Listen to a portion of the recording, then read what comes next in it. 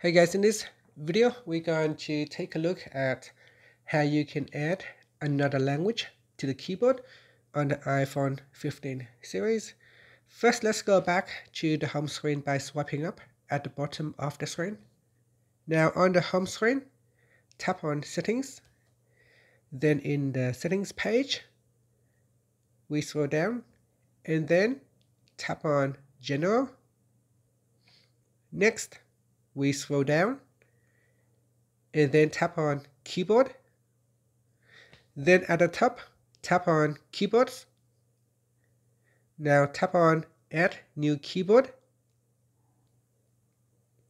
In the list here, you can use the search text box to, uh, to search for a language or you can simply scroll down and browse for a language that you would like to use.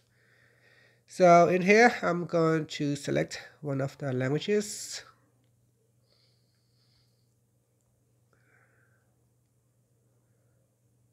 Uh, I can't find my language, so the list is quite long, so I'm going to use the search. So here it is. And then in here, choose the type of keyboard that you would like to use for that language, and then tap on done. Alright, so now we have successfully added in a new language to the keyboard. So if you open up, say, a note, so here my test note, and if I bring up the keyboard, I can now tap on this uh, icon. And this will allow me to switch to a different language keyboard. You can also touch and hold on that globe icon, and this will allow you to choose the different type of the keyboard.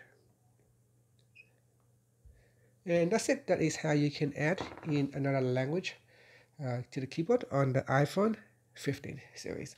Thank you for watching this video. Please like and subscribe to my channel for more videos.